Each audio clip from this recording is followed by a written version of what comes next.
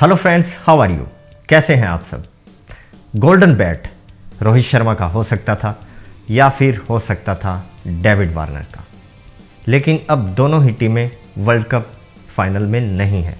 अब यहाँ दो बैट्समैन ऐसे हैं जो इस रेस में सबसे आगे हैं, या जिनके पास चांस है इसे लेने का। वो कौन से हैं? जानने के लिए वीडियो को लास्ट तक देखें।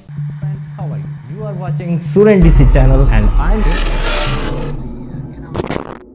welcome back friends friends हम बात कर रहे थे गोल्डन बैट की। रोहित शर्मा जिन्होंने नौ मैचेस में 648 रन बनाए और और उन्होंने यहाँ पाँच सेंचुरीज का ज़बरदस्त रिकॉर्ड बनाया। एक रिकॉर्ड हालाँकि तेंदुलकर का रिकॉर्ड वो तोड़ते तोड़ते रह गए। उसकी हम बाद में बात करेंगे कि तेंदुलकर का रिकॉर्ड क्या था और वो उनसे कितने रन से पीछे रह गए। लेकिन अभी हम बात करेंगे गोल्डन बैट की।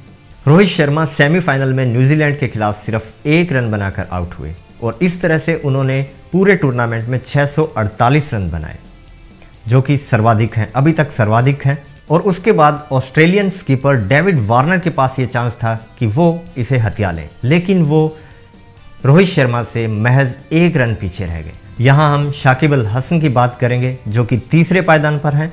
फ्रेंड्स, आज है विश्व कप का फाइनल, न्यूजीलैंड वर्सेस इंग्लैंड।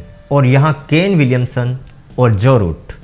दोनों के पास चांस है गोल्डन बैट लेने का। आइए वर्ल्ड कप में इनके आंकड़ों पर थोड़ी नज़र डालते हैं। केन विलियमसन की बात करें तो वो अभी इस वर्ल्ड कप में 548 रन के साथ बरकरार हैं, उनका एक मैच बाकी है। यानी कि उन्हें रोहित शर्मा का रिकॉर्ड तोड़ने के लिए चाहिए 100 रन एक पूरी सेंचुरी, और गोल्डन बैट आसानी से उनका हो सकता है।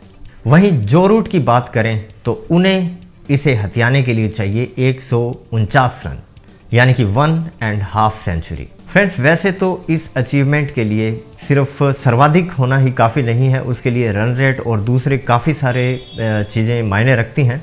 खैर, आपको क्या लगता है कि गोल्डन बैट के लिए कौन डिज़र्व करता है पूरे टूर्नामेंट में? ज़रूर बताएँ। अब बात कर लेते हैं तेंदुलकर की रिकॉर्ड की। रोहित शर्मा की किस्मत, यहाँ भी थोड़ी फीकी नज़र आई।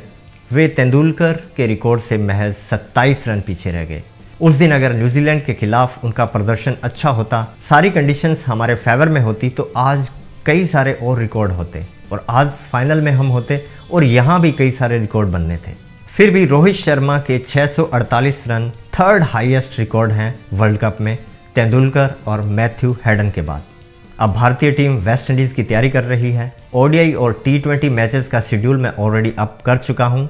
ऊपर लिंक है, ज़रूर देखें और यहाँ और इन दोनों सीरीज़ में हमारे कैप्टन होंगे रोहित शर्मा। प्लेइंग इलेवन में और क्या क्या चेंजेस किए गए हैं, ज़रूर देखें। अभी के लिए बस यही। मिलेंगे वर्ल्ड कप फाइनल मैच के बाद। तब तक के लिए जय हिंद।